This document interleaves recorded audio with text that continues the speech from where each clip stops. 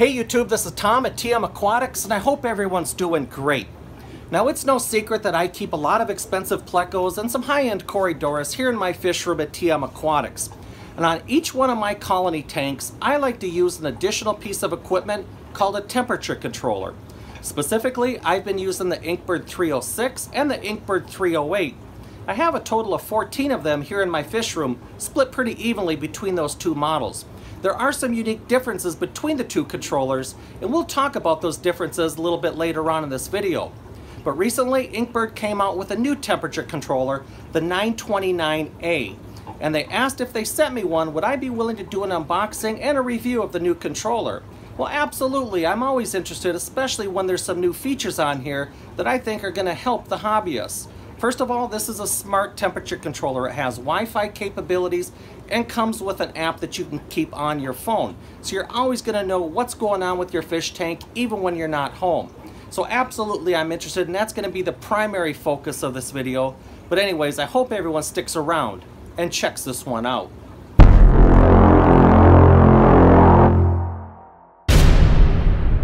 Alright YouTube, now I know one of the first questions people are going to have is what exactly is a temperature controller? And without getting too deep into the weeds, we're going to try to keep this as simple as possible. A temperature controller is just simply another device that can control the flow of electricity to your aquarium heater, either turning it on or off. The temperature controller itself is set at a temperature that you want your fish tank to be maintained at. A thermometer or probe is placed inside of your aquarium. When the aquarium water reaches that desired temperature, it shuts down the circuit and prevents any more electricity from flowing to your heater, therefore turning it off. When your temperature in the tank goes down to a certain low value, it'll complete the circuit, allow electricity to turn your heater back on, thus start heating your tank back up. So the next question is going to be, do I need a temperature controller on my aquarium or in my fish room? And to answer that, you're going to have to do it yourself. Now, I wouldn't call temperature controllers controversial, but there are those that don't want another piece of equipment in their fish room that can fail, while others, like myself, I like the additional peace of mind and the redundancy.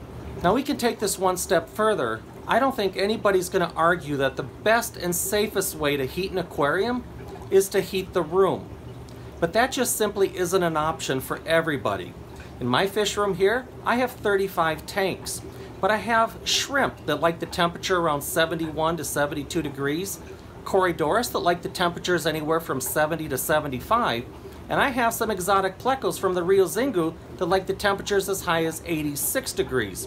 So any way you look at it, for me at least, here at TM Aquatics, I'm going to have to use some heaters.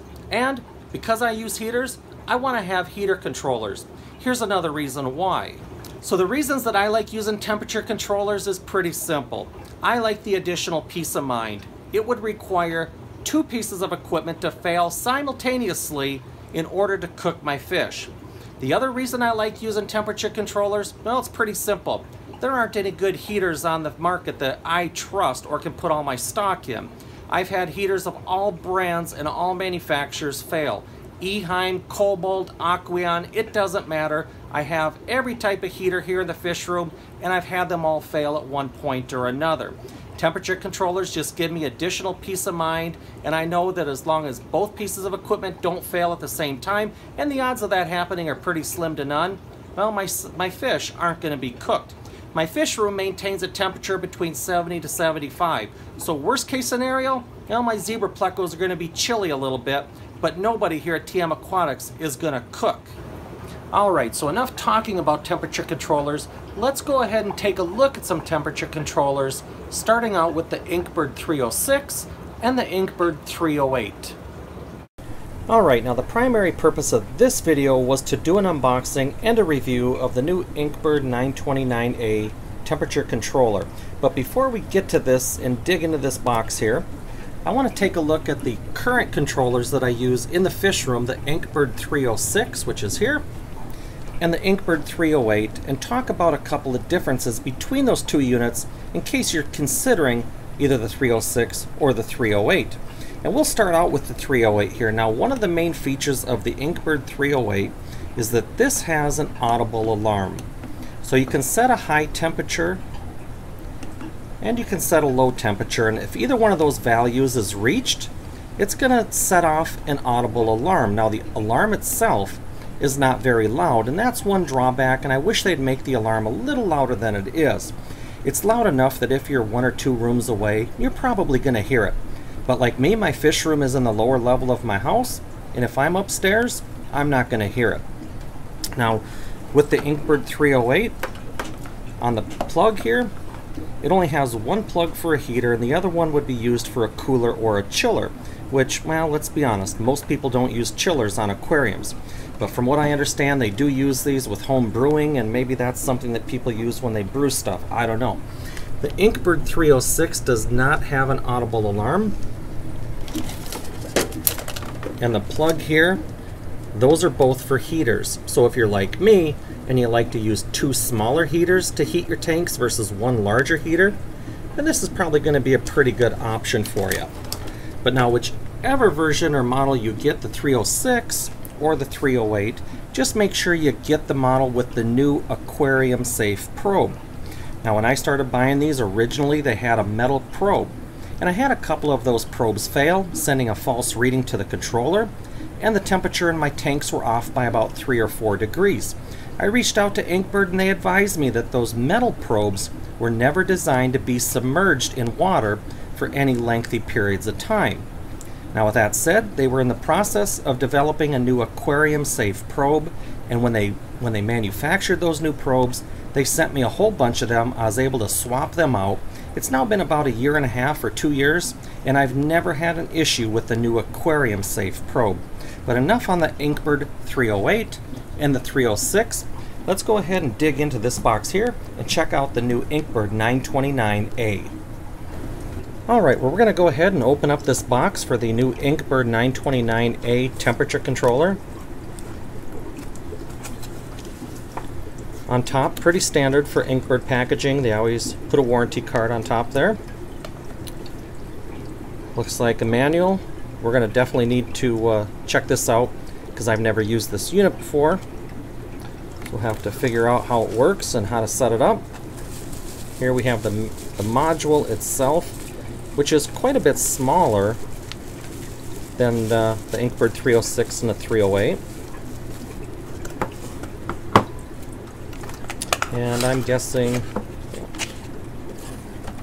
there's the probes. Let's just take a look at this for a second.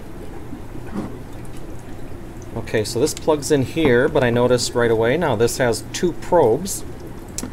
Now I don't know, but I'm guessing they include two separate probes so that you can space them out in the aquarium so you might get a more accurate average reading. Have them on opposite sides of the tank. I don't know, but hopefully this explains it a little bit more. Now this is, though, the new aquarium safe probe that I was talking about earlier. You want to make sure if you're buying any Inkbird controller that it has one of these black rubber type probes and not one of the metallic probes. But anyways, uh, those are the parts. Looks pretty straightforward. I'm guessing this just plugs into the outlet. The heater plugs in right here. But uh, we're going to go ahead. I'm going to dig through the uh, manual a little bit. We'll probably hook this up on one of the uh, grow out tanks. And um, we'll circle back, see how it's operating, hopefully answer a few questions, and give our initial thoughts. Alright YouTube, I have the new Inkbird 929A plugged in, I have the probes over here in my Lamprologus ocellatus gold shell dweller tank. You can see one of the probes over here, and then I have the other probe on the left side of the tank. But I now know why there's two probes included with this unit. I'll explain that more when we take a look at the app, so how about if we do that next, open up the app and check that out. Alright, before we look at the app, I just want to take a closer look at the unit itself there is an LED screen and there's uh, three different numbers on the readout there. And um, those are going to correspond to some numbers you're going to see on the app itself. And then there's three different function buttons there and we'll go ahead and explain what each one of those buttons are used for uh, and we'll just point to it in the manual but uh, a little hard to get to this unit the uh, angle that it's at and where it's positioned. So let's go ahead take a look at the app take a quick look at the uh, owner's manual answer a couple questions and uh, continue with this video. Alright, so one of the key features of this new Inkbird 929A is the fact that it has Wi-Fi capabilities and comes with the Inkbird Smart app. So you're going to have to download the Inkbird Smart app. And once you have that, you can launch the app and now you see we have the connected device here, the Inkbird C929A. We'll go ahead and open that device up and right away you see this big number in the middle of the screen along with a couple numbers down below. So what does all this mean? Well this first big number right here in the middle that draws your eyes to it, that is the current temperature of the tank. And if you notice right underneath the current temperature reading, it says heating. So I know right now the tank is in the process of heating. And what's it what temperature is it going to heat up to? Well, that's down here, and this is where the two probes come in. I did find out what the purpose of the two probes are, the first probe you're going to set for the low value. That's the temperature in which you want your tank to drop down to before your heater is turned on. And the second probe is the high value, the maximum temperature you want your tank to be before the heater is shut off. So this is going to continue to heat until it reaches 78.5 degrees and then it's going to shut off. Now down below here, there's some settings. We got a temperature unit switch. You can switch it between Celsius and Fahrenheit.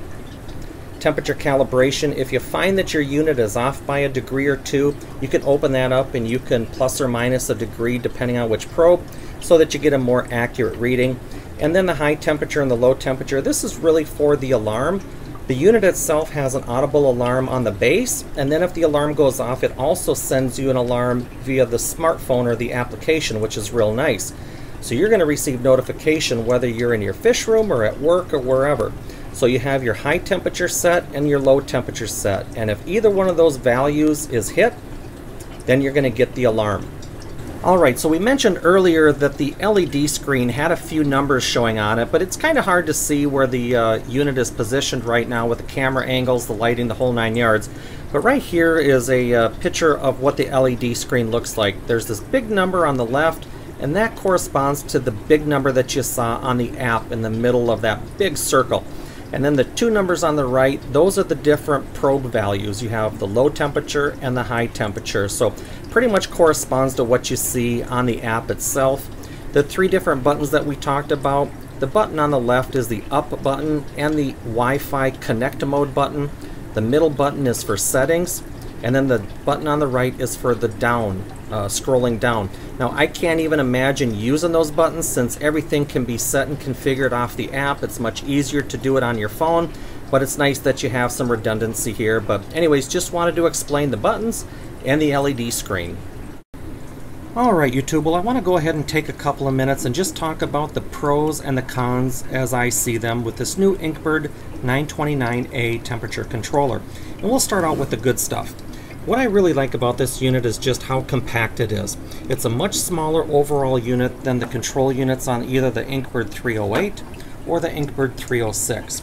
And what I really like about this unit is just the cord management. There are no additional cables or cords. You just plug the unit directly into a power strip or an outlet. You plug your heater in, you have your temperature probes right here, and that's it you don't have all these extra cords and cables like you do with the other Inkbirds, the 306 and the 308.